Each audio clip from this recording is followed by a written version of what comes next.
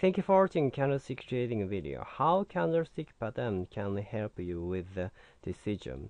It is more or less clear to the traders that entry and exit are the most significant factors of the market.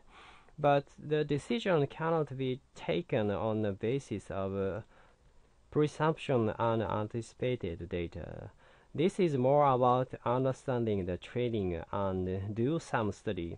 Candlestick pattern that was invented by the Japanese holds the key here. Our simple pattern indicates the opening and closing range of the trend with the highest and lowest beam indicated by the shadow. You might wonder how this can impact your decision. The candlestick pattern accounts for a small range of time frame. This means that it will not guide you to determine the price of entry and exit to the market.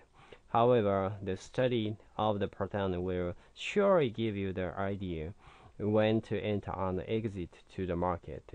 Reading and understanding the pattern is pretty easy. However, you can always learn it with the candlestick trading to ensure that there is no gap.